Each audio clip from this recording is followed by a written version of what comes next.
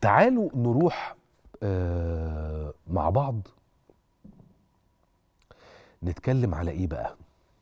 تعالوا نتكلم على نفس القصة لأنه برضو هي مهمة جدا. هنرجع هنا فيها لدكتور كريم عادل مدير مركز العدل للدراسات والأبحاث الاقتصادية. على مسألة زيادة سعر التوريد وده مهم جدا. خليني الأول أرحب بدكتور كريم. إزيك يا دكتور؟ مساء الخير أستاذ يوسف عامل تحياتي إيه؟ لحضرتك والساده المشاهدين. أخبارك إيه؟ آخر مرة شفتك كنا في سنة 2022 هي صح كانت من شهر ونص بس برضه تعتبر في 2022 عايزين نشوفك تاني. كل سنه وحضرتك طيب وحضرتك طيب.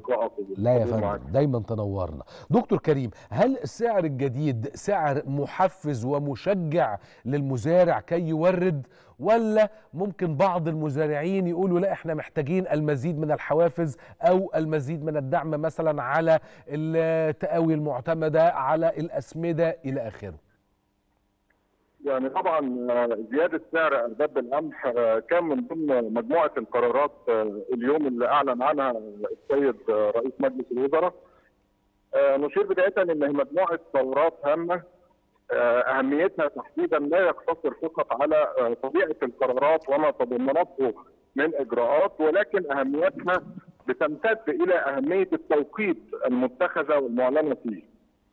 آه، ده طبعا بالإضافة للأرقام والنتائج اللي تم الإعلان عنها وعن تحقيقها دي بتعتبر بمثابة رسائل طمأنه للمواطنين والمستثمرين والمنتجين أيضا. بالنسبة طبعا لرفع سعر ارجاب القمح إلى 1250 جنيه آه، ده بيعتبر حافز مهم آه، من شأنه تحقيق مستهدفات الدولة نحو تحقيق الاكتفاء الذاتي من القمح واللي بيعتبر أحد أهم السلع الأساسية للمواطن المصري وبيساهم في تحقيق الأمن الغذائي للمواطنين.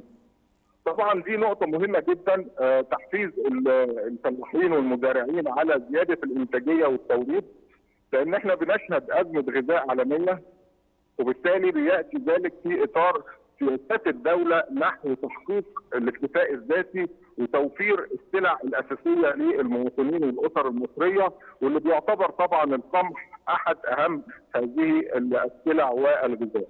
عظيم جدا. طيب عايز أخد حضرتك يا دكتور ونروح على مبادرة ال 11% رأيك وتقديرك لمبادرة ال 11% لتشجيع وتحميس وتحفيز الصناع للعودة بكامل طاقتهم مرة أخرى. طبعا هي مبادرة جديدة آه، الهدف منها دعم القطاعات الإنتاجية داخل الدولة وبالتالي هي بتستهدف دعم قطاع الزراعة وأيضا قطاع الصناعة. هي طبعا نقطة مهمة لأن من شأنها تحقيق الأمن الغذائي والصناعي وبالتالي توفير الغذاء والسلع الغذائية والمنتجات المختلفة اللي بيحتاج إليها المواطن والأسر المصرية من ناحية بالإضافة طبعا لأنها بتساهم في حدوث استقرار للأسعار داخل الأسواق نتيجة توافر سلع ومنتجات محلية بجودة عالية. ودي نقطة مهمة جدا على المستوى المتوسط، لماذا؟ لأنها بتساهم في تحقيق مستهدفات الدولة نحو تقليل الواردات وبالتالي تخفيف الضغط على النقد الأجنبي وأيضا زيادة الصادرات المصرية ودي بتخلق حالة من موارد جديدة من النقد الأجنبي وتصل بينا إلى المستهدف نحو 100 مليار آه، صادرات.